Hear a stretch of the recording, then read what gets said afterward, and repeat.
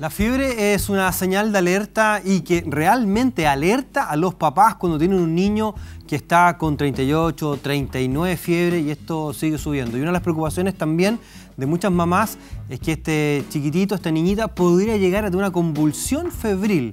Eh, ¿De qué nos alerta la fiebre? ¿Es bueno eh, bajar la temperatura? ¿Qué pasa con las convulsiones febriles? ¿Pueden llegar a producir otros daños a nivel neurológico en nuestros hijos?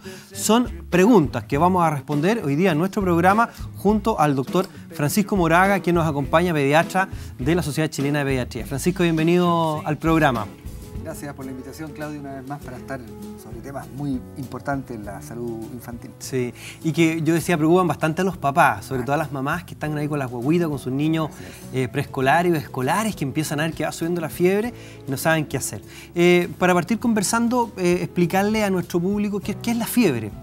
Mira, trajimos unas imágenes de apoyo, a ver si podemos avanzar un poco para poder explicar un poquito de qué se trata esto. Fiebre se le llama en general al aumento de la temperatura eh, por sobre la que normalmente maneja el organismo para que funcione en forma adecuada. Todos nuestros sistemas funcionen óptimamente. Existe un rango que va más o menos alrededor de entre 36 y 38 grados.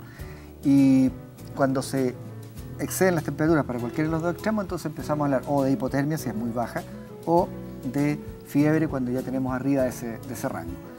Eh, tal como decías tú, la fiebre muchas veces genera una preocupación que es un poco más allá de la que realmente corresponde, probablemente porque como relacionamos la fiebre con enfermedad y a veces enfermedad grave, claro. existe la impresión de que un niño con fiebre, y sobre todo si tiene fiebre alta, eh, puede estar muy grave. Y la verdad es que la cuantía de la fiebre no guarda especial relación con la gravedad de un cuadro. Entonces es importante desmitificar algunos hechos sobre la, fiebre. Y tú, tienes mucha razón en eso. Los, papás dicen, oye, eh, está en 38, va en 39, esto ya se está complicando, esto ya está adquiriendo otros ribetes, esto ya es grave. Eh, la fiebre finalmente es un mecanismo de defensa. Así es. La fiebre constituye uno de los mecanismos a través de los cuales el organismo responde frente a una agresión fundamentalmente infecciosa, pero pueden ser otras causas, pero especialmente infecciosa, porque los gérmenes eh, viven en manera óptima, su metabolismo funciona de manera óptima a una temperatura que es por debajo de la que normalmente tenemos cuando tenemos fiebre. Correcto. una bacteria, un virus vive en nuestro organismo a una temperatura óptima de alrededor de 37 grados. O sea, 37 él está feliz, se pasea por nuestro cuerpo. Y replicándose y formando más, invadiendo. Ya. Cuando eh, el organismo entonces detecta estos gérmenes, lo que hace como una forma de ayudar a frenar esta, proliferación y a su vez darle la señal a nuestro sistema de defensa, hoy estamos siendo combatidos, es aumentar la fiebre. Es aumentar la temperatura corporal. Exactamente. Para ser, para ser inhóspito nuestro cuerpo para que se puedan ir y se puedan morir. Exacto, una medida adaptativa por lo tanto. Exacto. y, por lo tanto, como toda medida adaptativa es regulada. Entonces la fiebre no va a subir eternamente y va a seguir subiendo y hasta y no va a parar nunca. El sistema sabe que tiene que subir la temperatura, pero que tampoco debe pasarse después de un cierto margen. Que también es otra preocupación, que tienen muchas personas que dicen, oye, como va subiendo, esto puede llegar fácilmente a los 41 42, ¿qué va a pasar? O sea, casi va a explotar el termómetro acá, claro. si que sigue subiendo. Entonces es importante el concepto que tú has, eh, Francisco. Sí, ese, ese punto es bien interesante porque eh, eh, como te decía, el mito de la fiebre está muy relacionado a eso, que, la fiebre va a seguir, va a seguir y poco menos que uno se va a fundir por dentro. ¿no Claro. Y entonces, eh, y eso no es así. La fiebre, insisto, es un mecanismo regulado que lo tienen solamente los animales superiores, no los animales inferiores. Es una, una adaptación que ha ido apareciendo a medida que los organismos se han ido haciendo más complejos, justamente para poder adaptarse de mejor manera a varias circunstancias, en este caso a las infecciones que lo rodean en el ambiente. Correcto. Junto con la fiebre aparecen otros síntomas y muchas veces el sentir que tu cuerpo va subiendo la temperatura se asocia a, malestares físicos. Por ejemplo, cuando la temperatura es muy alta, las personas pueden incluso tener alucinaciones, eh, ¿no es cierto? Sientes, te sientes muy mal. Eh, por lo tanto, ¿cuál es el equilibrio perfecto entre que nuestro sistema, a través del aumento de temperatura, haga combate directo a los gérmenes y por otro lado, que nosotros también nos podamos sentir bien y no, nos sintamos tan, tan decaídos o con dolor o con molestia, con dolor de cabeza muchas veces o con estas alucinaciones que, pueden tener incluso cuando uno va a dormir y quiere soñar, y está soñando, digamos. Justamente ese es el quiebre, pues ese es el punto central en el que uno debiera decidir si vamos a tratar o no tratar una fiebre. Correcto. Más que la cuantía, más que el valor de la temperatura, lo que realmente importa es cuánto compromete el estado general, cuán mal me siento. Y muchas veces el antitérmico se usa fundamentalmente para ayudar a que ese niño se sienta mejor, eh, más que para combatir la temperatura. Correcto. hay niños que tienen una tolerancia muy alta y andan con 39 y jugando por todos lados. A ese niño no le vamos a dar un antitérmico. Ya. Pero otro niño puede que a lo mejor con 38.1 se siente pésimo, está llorón, está ahí, no quiere comer, está mal, le vamos a dar.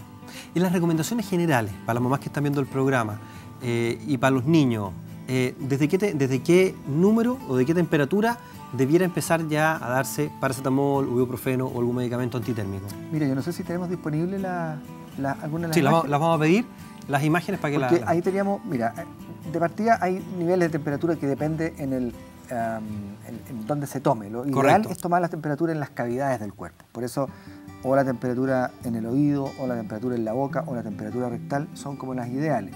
Se pueden medir en otras partes, como en la piel, a través de estas cintitas térmicas o el clásico termómetro en la axila, pero esas mediciones no son tan fiables como las otras. Entonces, como convención y para hacerla fácil, digamos, porque en la boca 37.5, 38, claro. se pone como, como tema general 38. 38. 38. Ya. O sea, con 38 hacia arriba vamos a hablar de frentón de fiebre.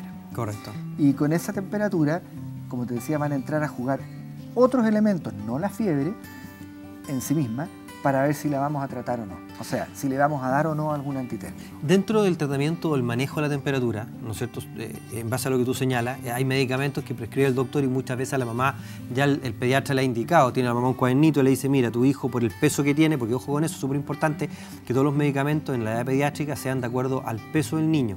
No, no es como lo adulto que el doctor a mejor usted le dice este medicamento, paracetamol, cada 8 horas, cada 12 horas. Acá no, la prescripción es por peso. Eh, eso es un punto. Entonces, aparte de esa prescripción, hay cosas caseras que hace la gente en la casa y de repente pueden estar bien hechas o mal hechas y me gustaría que nos, refiriéramos a eso. Por ejemplo, una de las cosas que más se hace es poner paño, ¿no es cierto?, húmedo en la, frente, en la guatita, en la axila, para bajar la temperatura. ¿Está bien eso? ¿Qué otras cosas nos aconsejarías, por ejemplo, le aconsejarías a las mamás que están viendo el programa para este control de la temperatura? Mira, como decíamos al principio, la fiebre es una reajuste del termostato que tenemos dentro del cerebro, que es el que controla la temperatura del cuerpo. Y entonces el cuerpo dice, mm, ya no voy a ajustar a 37, voy a ajustar a 39. Ya. ¿Ya? Y por lo tanto hace una serie de maniobras, evitar la pérdida de calor y por lo tanto nos ponemos pálidos porque se vasocontrae la, la, la, piel.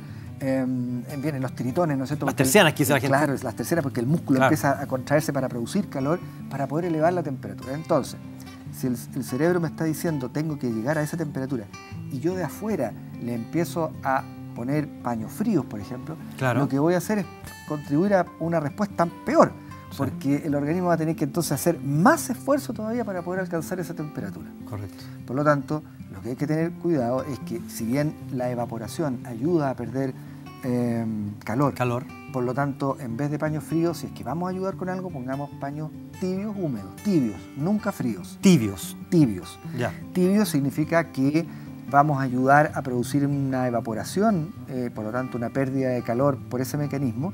Y en cambio el paño frío lo que vamos a hacer es contribuir a aumentar la brecha de temperatura que el organismo tiene que producir por este nuevo informe que tiene adentro. Y eso va a generar entonces muchas más molestias y más incomodidades para el niño.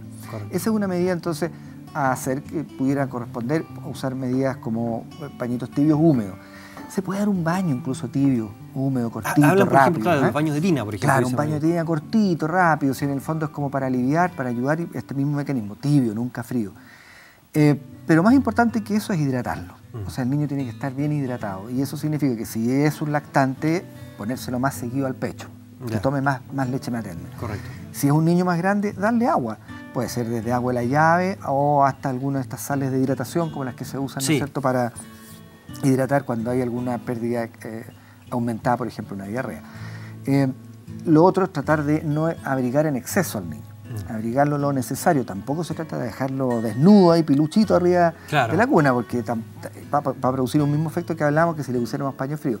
Abrigarlo, pero con poquito, con lo suficiente, para que eh, las condiciones ambientales lo permitan, y, pero pueda ventilar y perder eh, este exceso de calor que está produciendo.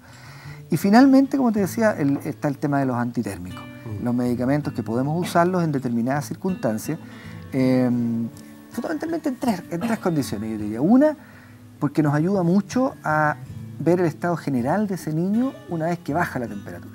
Si este niño está con fiebre, no le encontramos una causa muy clara, le damos un antitérmico, lo observamos, vemos que le baja la temperatura y el niño cambia, ese niño que está decaído y medio quejoso, cambia, se pone alegre y todo, a uno le permite cierta tranquilidad para decir, probablemente aquí no está ocurriendo algún cuadro grave y podemos observarlo todavía sin intervenir con otros tratamientos. Correcto. Francisco, te invito a lo siguiente.